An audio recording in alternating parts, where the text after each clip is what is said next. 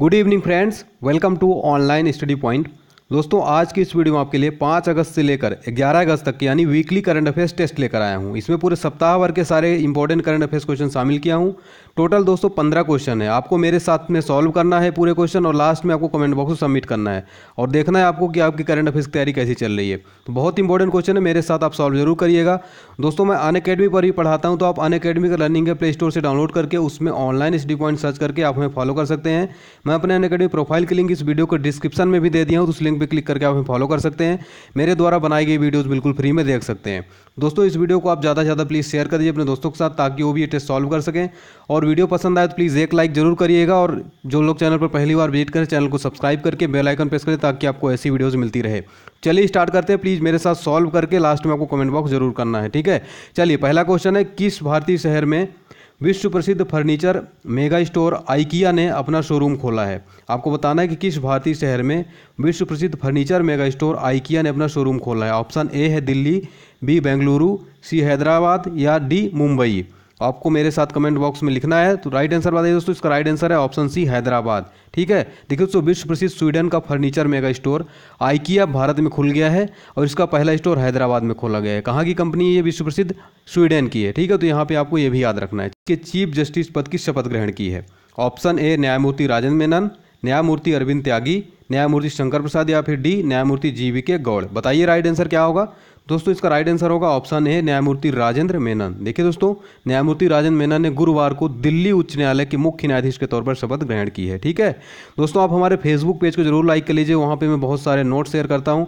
Online study point official के नाम से हमारा फेसबुक पेज है, आप हमारे, अपने फेसबुक ऐप से सर्च कर लीजिए या फिर वीडियो को डिस्क्रिप्शन में लिंक मिल जाएगी। आप हमें इंस्टाग्राम पे फॉलो ज़रूर कर लीजिए, वहाँ पर भी बहुत सारे आपको अपडेट्स मिलते रहते हैं। टेलीग्राम चैनल को ज्वाइन कर लीजिए, यदि आपको सारे पी फाइल्स एक साथ चाहिए तो। चलिए, अगले क्वेश्चन की तरफ़ बढ़ते हैं। क्वेश्चन नंबर तीसरा है निम्नलिखित में से किस दिन प्रत्येक वर्ष अगस्त क्रांति दिवस मनाया जाता है? तो आपको बताना है निम्नलिखित में से किस दिन प्रत्येक वर्ष अगस्त क्रांति दिवस मनाया जाता है? ऑप्शन है छः अगस्त, सात अगस्त, आठ अगस्त या नौ अगस्त।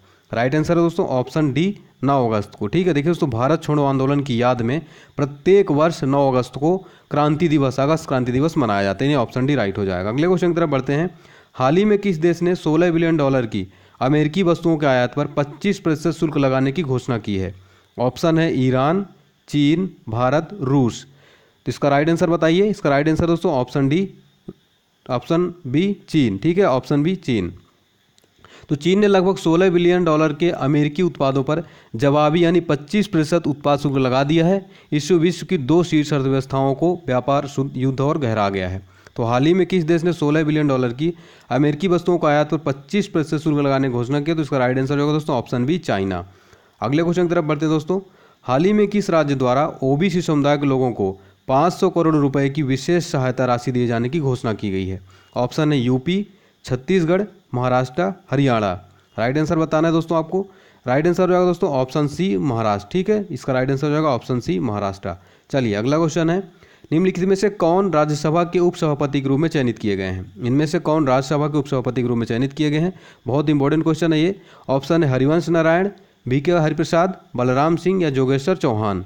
तो आपको बताना है दोस्तों, इसका राइट आंसर हो जाएगा ऑप्शन ए हरिवंश नारायण, यानी ऑप्शन ए राइट है। देखिए दोस्तों, राज्यसभा के उपसभापति चुनाव में हरिवंश नारायण को 125 वोट प्राप्त हुए जबकि यूपीए उम्मीदवार वी के हरिप्रसाद को 105 मत प्राप्त हुए हैं इसमें। ठीक है? चलिए, अगला क्वेश्चन है। हाल ही में तमिलनाडु के पूर्व मुख्यमंत्री एम करुणानिधि का निधन हो गया। वह किस आंदोलन के प्रमुख नेता माने जाते थे। ऑप्शन है द्रविड़ आंदोलन। मलयाली आंदोलन, दुग्ध आंदोलन या तमिल आंदोलन। राइट आंसर बताना है आपको। राइट आंसर है दोस्तों, इसका ऑप्शन है द्रविड़ आंदोलन, यानी ऑप्शन है राइट हो जाएगा। अगले क्वेश्चन की तरफ़ बढ़ते हैं। निम्नलिखित में से किस अर्थशास्त्री को हाल ही में आरबीआई यानी रिज़र्व बैंक ऑफ़ इंडिया के केंद्रीय बोर्ड में शामिल किया गया है? तो ये भी बहुत इंपॉर्टेंट क्वेश्चन है। आप राइट आंसर बताइए। अरविंद गोस्वामी, नितिन कृपचारी एस गुरुमूर्ति या जीवन चौहान? राइट आंसर होगा दोस्तों ऑप्शन सी एस गुरुमूर्ति। अगला क्वेश्चन है नाइन्थ नंबर का। विश्व का पहला थर्मल बैटरी संयंत्र भारत के किस राज्य में आरंभ किया गया है? विश्व का पहला थर्मल बैटरी संयंत्र भारत के किस राज्य में आरंभ किया गया है? Andhra Pradesh, Madhya Pradesh, Haryana, UP. Right answer दोस्तों ऑप्शन है आंध्र प्रदेश।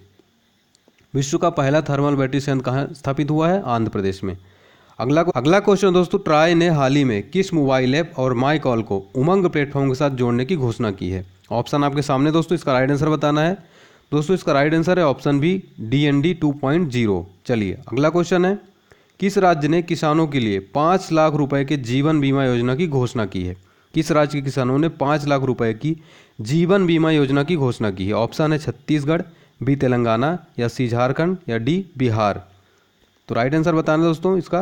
इसका राइट आंसर है ऑप्शन बी तेलंगाना। ठीक है, चलिए, अगला क्वेश्चन है सेंट्रल पोल्यूशन कंट्रोल बोर्ड ने किस शहर को देश का सबसे प्रदूषित शहर घोषित किया है? सेंट्रल पॉल्यूशन कंट्रोल बोर्ड ने किस शहर को देश का सबसे प्रदूषित शहर घोषित किया है? इसका राइट आंसर बताना है दोस्तों। इसका राइट आंसर है ऑप्शन सी गुड़गांव को। ठीक है? चलिए अगला क्वेश्चन है दोस्तों। हाल ही में जिन तीन न्यायाधीशों ने सुप्रीम कोर्ट के न्यायाधीशों के रूप में शपथ ग्रहण की, उनमें महिला न्यायाधीश का क्या नाम है? ऑप्शन है justice Indira Banerjee justice Devika Sharan justice Aarti Singh justice K S Paul. Right answer बताइए। राइट आंसर है ऑप्शन है जस्टिस इंदिरा बनर्जी। अगला क्वेश्चन है, हाल ही में किस देश ने हाइपरसोनिक विमान का विश्व में पहली बार सफल परीक्षण किया है। हाल ही में किस देश ने हाइपरसोनिक विमान का विश्व में पहली बार सफल परीक्षण किया है? ऑप्शन ए, अमेरिका, बी, रूस, सी, चीन या डी, इज़राइल। तो राइट आंसर बताना दोस्तों इसका। राइट आंसर होगा ऑप्शन सी, चीन। लास्ट क्वेश्चन है, हाल ही में किस राज्य केंद्र शासित प्रदेश की विधानसभा ने अपने लिए अलग लोक सेवायक बनाए जाने हेतु विधेयक पारित किया है? ऑप्शन है महाराष्ट्र, गुजरात, दिल्ली, हरियाणा। राइट आंसर दोस्तों ऑप्शन सी दिल्ली। तो आई होप दोस्तों आप लोगों ने मेरे साथ ये कुछ सॉल्व किया होगा। तो यदि आपने सॉल्व किया तो प्लीज़ कमेंट ज़रूर करिएगा और आप बताइए आपका स्कोर क्या रहा। तो दोस्तों वीडियो पसंद आया तो लाइक ज़रूर करिएगा और जो दोस्त चैनल पर पहली बार वेट करें चैनल को सब्सक्राइब करना बिल्कुल मत भूलिएगा। साथ में बेल आइकन प्रेस कर दीजिए ताकि आपको ऐसी वीडियोज़ मिलती रहे। और इस वीडियो को प्लीज़ ज़्यादा से ज़्यादा शेयर कर दीजिए। तो मिलते हैं नेक्स्ट वीडियो के साथ दोस्तों। जय हिंद बंदे मातरम।